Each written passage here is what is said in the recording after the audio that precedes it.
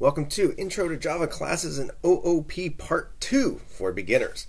This is a continuation of Part 1, so if you haven't seen that, please go back and watch that first, and we'll move on to this one.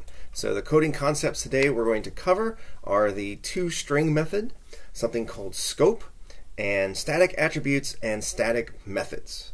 Okay, so basically a quick review here we created a person class. It's got two private attributes, a string called name and an int called age. We've got uh, one, two, three different constructors with different signatures. Um, so this constructor is like what we refer to as a default constructor. There's nothing there. We have this constructor which takes a string, in this case, of course, the name, and we have a constructor that takes the name and the age, so string and int is the signature there and assigns it when we create it. Then we have some behaviors. For this one, we've only done sets and gets, so set name, get name, set age, and get age.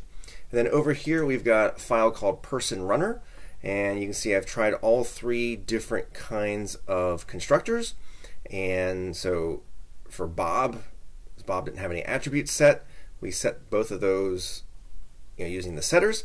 And then Susan, of course, we created straight from the bat with a name and an age. And then Jason, we started with just the name, and then we added the age. And here we printed out those attributes. So again, if you haven't seen part one, please go watch that. It explains everything you see here. And now I'm going to pick up at this spot. So as I said, the first coding concept is something, something called the toString method. And this is a special method of Java. So before I get to that, let's go ahead and add one line here. Actually, to add a couple lines. System.out.println uh, Bob. And I'm going to just go ahead and copy that. Oops. I've, sorry, I changed keyboards and I, ah, I changed keyboards and I keep uh, doing, doing the wrong thing here. And now I'm back to there. So let's try that again. System.out.println and Bob. And this is what happens when you switch from Mac to uh, Linux, I guess, in this case. So we got Bob, Sue, and Jason. Now note here, Bob, Sue, and Jason, they're not strings, they're not ints, they are person objects. Okay, or we could say they are instances of the person class. So what do you think is going to be printed when we print Bob, Sue, or Jason? Now you're probably thinking, well, we'll print the name. There's no reason for it to do that, but that's probably what a, a normal person might think. Let's go ahead and compile that. And I'm going to run it. And you'll see here, you see person at F6, F4, D33, etc., etc. You see person at blah, blah, blah, and person at blah, blah, blah. Now, person, I think it's pretty clear, refers to the fact that these are objects, instances of the person class. That's kind of obvious. The F6 part here, these are memory locations. So this is where these objects are actually stored in the virtual memory for this particular uh, process. So not very helpful. Interesting, but not very helpful. So when we create a class, and we print it. We get to choose how we want it to be printed. And that is what the toString method does. So I'm going to go over here to my class. I'm going to add a new behavior. And it's going to be public because we want to be able to access it. Oops. We want to be able to access it from a different class. Again, if you don't know what public means, go back and watch the first video. And it returns a string, and it's called toString.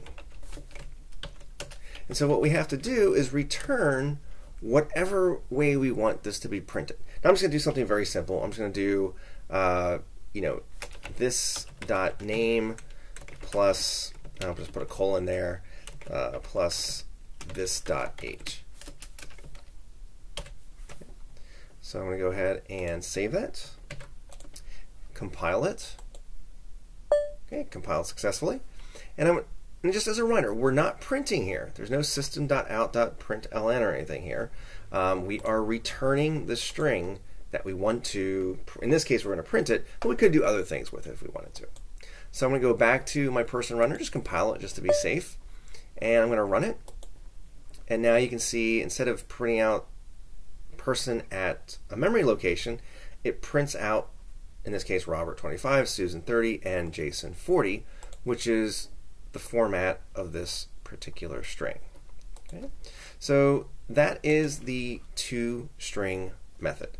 So when we want to use the print method with an object, we can define how that is printed, which is pretty cool. That's pretty powerful. Um, so that's that.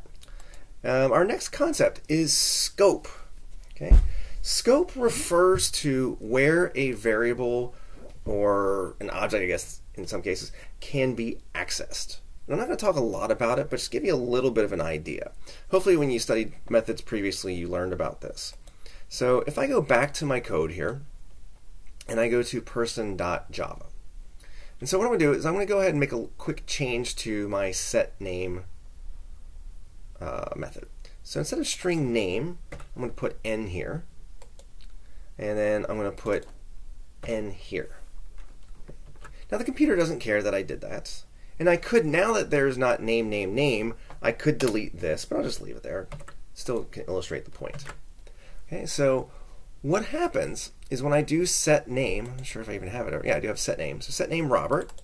So Robert gets sent over to n, and this name as the attribute of the class, or in that instance of the class, I should say, is assigned to n. So the question is, what happens to this n? Now, some of my students, what I've seen in the past, and this is totally normal for a beginner to do, have done something like this. They've either put return this dot n or they put return n. Now let's go ahead and compile that, try to compile it. Okay, You'll see you get an error. Can't, it's hard to read, I know, because of the, the color scheme here. But it says error cannot find symbol. And there's a little caret pointing to the dot here. And it tells you basically the n from here on. Doesn't know what that n is. Okay, you can't even compile it. Okay, and so we know that there's something wrong. And the reason is that that n is limited to this method. So when I call this method, and then the method ends, this n disappears. The scope of n is local to this particular method. It can't be accessed outside of these two braces. Okay. Now up here, notice that name and age are defined, or I should say instantiated, use the right terminology here, inside the class, not inside person method or the person constructor, not inside this person constructor, etc., etc. They're not defined in the parentheses of a method or of a function call. So they are available to any instance of the person class. And they're private, so we can't access them from outside. That's why we use the setters and the getters. Okay? So I'm just going to go ahead and put this back to name. Okay? Um, but basically, that's that's scope. Okay, scope. there's of course more to it, but that's that's the important part, at least for our purposes for this particular video. Um, so if this was n and didn't match, you know, one of these things up here, one of these attributes, it's only going to be local. It only exists while this method is running. Okay, so now the reason for that is that, well, the main reason for that, I guess, is, is a memory issue. If every time you called a method, the value stayed in memory, um, sooner or later your memory is going to overflow and you're going to run out of space. Um, so once this, you know, once the execution reaches the end of this method, the memory for this variable, this local variable, is erased. It's freed up to be used by other parts of the program. Okay, so go ahead and compile that, make sure put everything back the way it was supposed to be. Okay, so that was scope.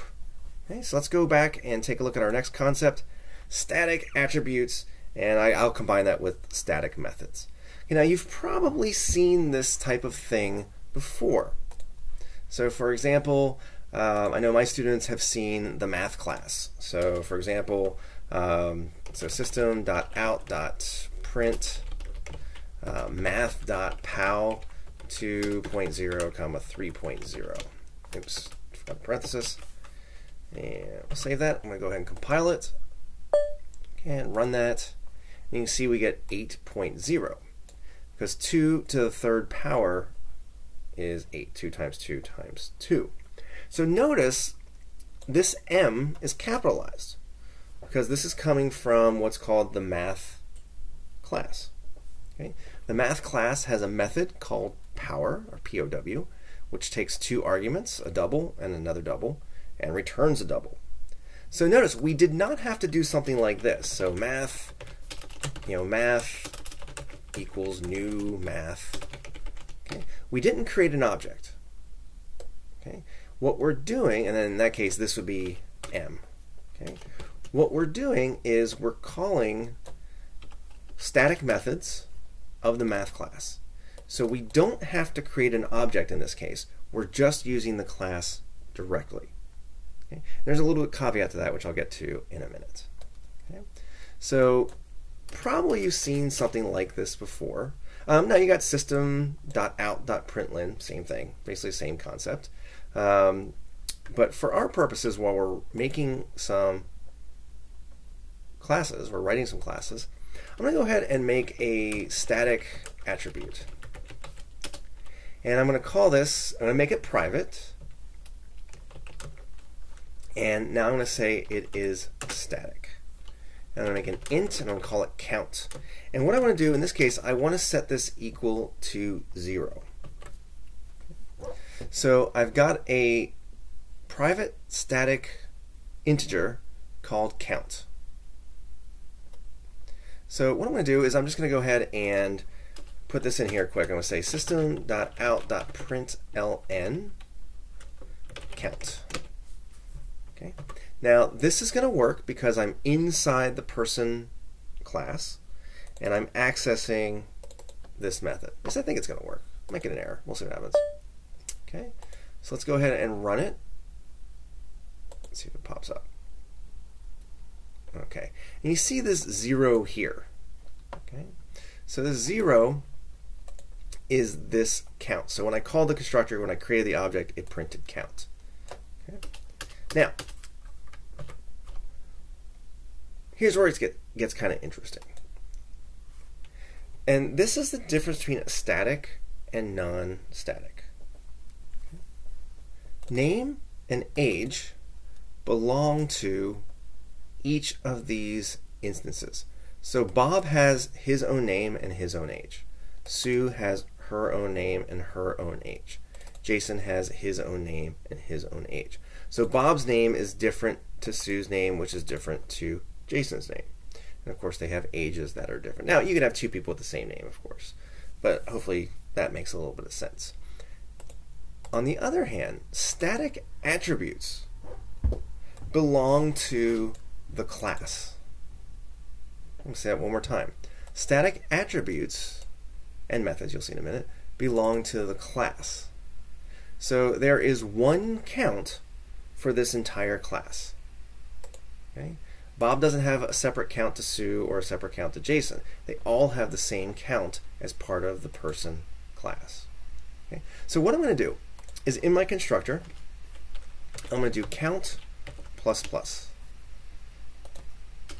count plus plus and count plus plus. Oops. Um, and then, okay, now if I compile it, I'm just going to make sure it compiles. Good. Now, of course, if I run this over here, nothing's nothing's going to change. It doesn't. It's not going to do anything because there's no way to. I haven't printed it. Now, because this is private, I can't access it over here. Okay, like what I do, system.out.println uh, count plus person.count. Okay, see what I did there? Now this is going to give us an error, so I'm going to run this. You can say count has private access in person. Okay, so it's telling us we can't do that. So let me just switch this over to public real quick and show you what happens here. I'm going to recompile it. I'm going to go over to here again, and I'm going to run this. Oh, I got to compile it, sorry. I'm going to compile it, then I'm going to run it. And now you see count equals 3. Isn't that interesting? And count equals 3 because I've created three different instances of the person object. So remember, when, a, when an object is created, the related constructor is called. So this constructor adds 1 to count, this constructor adds 1 to count, and this constructor adds 1 to count. So because I've created three objects, count is now 3. So notice how I did this. I did person, so it's the class name, dot count, because this static attribute belongs to the class itself. Very interesting, isn't it?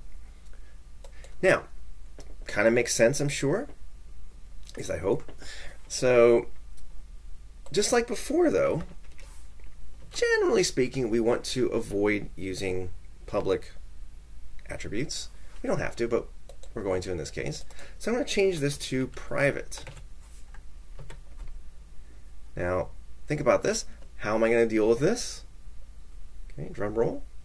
Okay, I'm going to do the exact same thing I did with my setters and getters.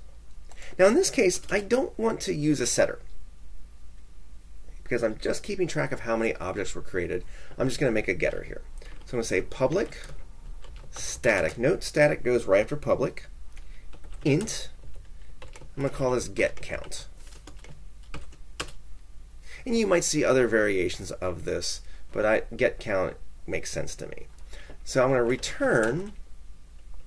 Now I have two choices. I can do count, or I could do person. I think I do person.count like that. But we'll just return count. And I'm going to go ahead and try and compile that. Okay, so that worked. And then if I go back to person runner, I can do person.get count. Again, I did that because this is public. This is private, so I can't access it directly outside the class. Okay, so I'm going to go ahead and compile that and run it. And you can see I still got count 3. Okay, So that's pretty much how static attributes and static methods work. There's more to it than that, but that's the gist of it. Now let me try one thing here. Let's get rid of that. Let's say I forgot to do that. I don't know if it's going to make a difference or not. I can't remember. Um, let's find out. And can we compile that? Nope. We cannot. Okay. That's what I thought was going to happen. So you'll see error. Non-static method get count cannot be referenced from a static context. Okay, so count person dot get count. Okay, so non-static method cannot be referenced from a static context. Now the static context is the person class, and get count is now non-static because we got rid of the static uh, keyword there. So now if this was private int count, it would work, but then it would be different for each of those objects. So static methods should be used with static attributes. Okay, so I'm going to go ahead and recompile that. Go back to here, recompile that, and run it. Okay, so that kind of makes sense. Now here's the one that's probably going to like kind of confuse people because I find it confusing. What do you think is going to happen if I do this?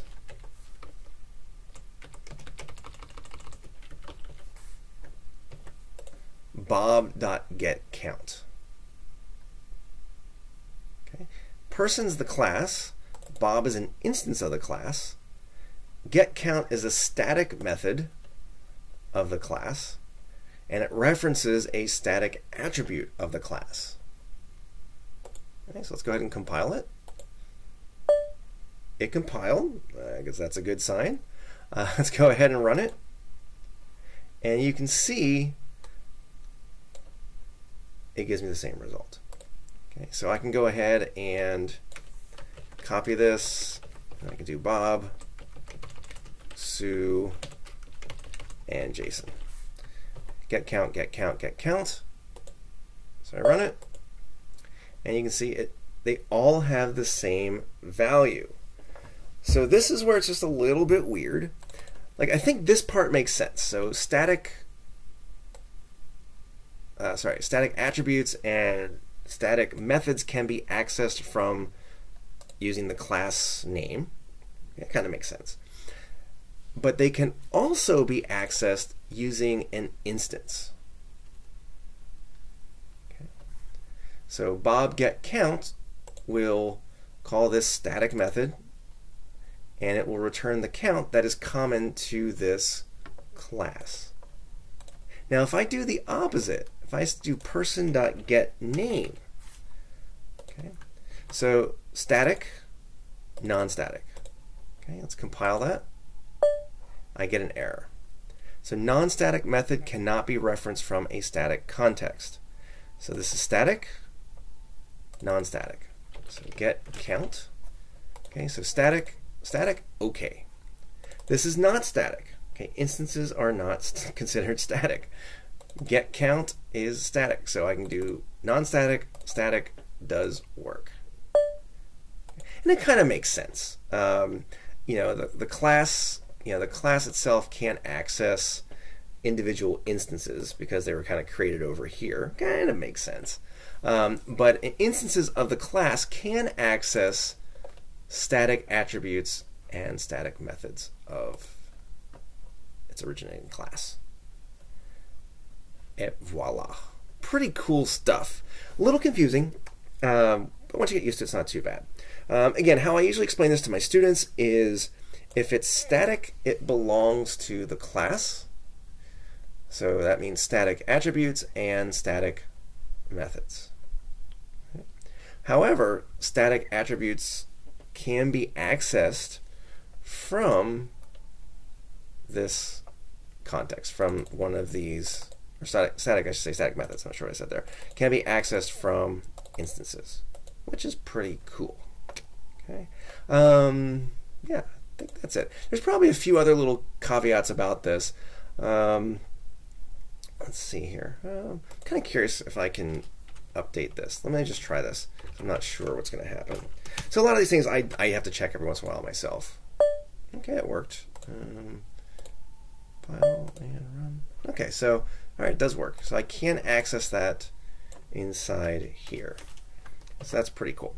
So you can access static from non-static. Okay, from non-static from here, but you can't access non-static from static. Okay, so that's the rule that you need to go with. So that is that. Um, so today we learned about the toString method, scope, static attributes, and static methods. So thanks for watching. I hope this helps more than it hurts. I'm Tokyo Ed Tech. Keep on coding.